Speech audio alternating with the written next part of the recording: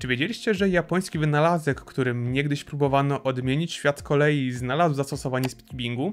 Mowa oczywiście o systemie IDS, czyli popularnym maglewie, który umożliwił kolei poruszanie się bez styku pojazdu z torem, a to dzięki zastosowaniu elektromagnesów, które odpychając się unosiły pociąg górę. Ten sam system, choć w mikroskali, znalazł zastosowanie speedbingu i mieliśmy już z nim do czynienia w postaci kostek 3x3 dostarczonych przez firmę Moju przy okazji RS3M czy WRM-a ale dzisiaj porozmawiamy o pierwszym Pyramingsie, w którym zrezygnowano ze standardowych sprężyn właśnie na rzecz dwóch odpychających się magnesów. Czy tak jak w kolei magnetycznej na dłuższą metę nie znajdzie to zastosowania? A może mamy do czynienia z prawdziwą rewolucją? Przekonajmy się.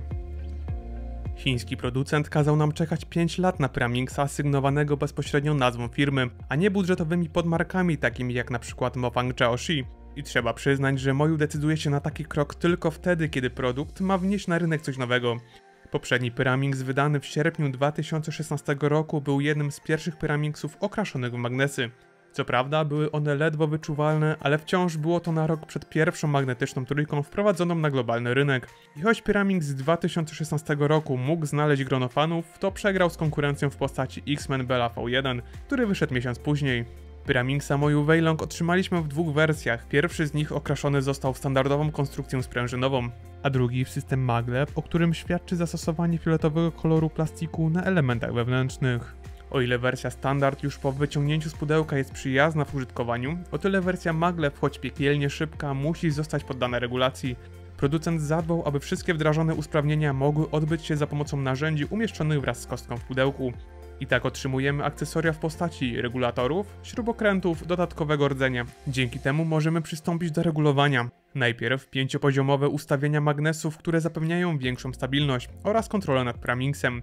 Następnie ośmiopoziomowa regulacja podwójnego systemu maglev, do którego dostajemy się poprzez bardzo mocne pociągnięcie tipa. Tutaj zarówno możemy modyfikować elastyczność poprzez dokręcanie śruby, jak i regulację magnesów obróconymi do siebie jednoimiennymi biegunami. Mamy tutaj bardzo szerokie spektrum możliwości związane z wdrożeniem usprawnień umożliwiających dostosowanie Pyramingsa zgodnie z własnymi preferencjami. Mimo regulacji kostka zachowuje płynny feeling, a co za tym idzie, niewiele siły potrzeba, aby ruszać ściankami. Wiele Pramingsów nie znalazło się w asortymencie speedcuberów z powodu tipów, których obracanie mogło sprawiać problemy przy uzyskiwaniu bardzo niskich czasów. Tutaj odwrotnie, tipy nie są sztywne, dzięki czemu produkt znajdzie zastosowanie podczas startów na zawodach. To wszystko nie zmienia jednak faktu, że produkt ten przeznaczony jest dla osób, które potrafią kontrolować kostkę lub rozpoczęły naukę trudniejszych do opanowania metod. Tym samym Pyramings Moju Weilong systemem Maglev znajdzie grupę odbiorców wśród użytkowników takich produktów jak X-Men Bell czy Yushin Little Magic. Podsumowując, jest to jedna z najciekawszych nowości z systemem Maglev, która pojawiła się na rynku, dzięki czemu można domniemywać, że speedcubing lepiej niż świat kolei zareaguje na tą technologię.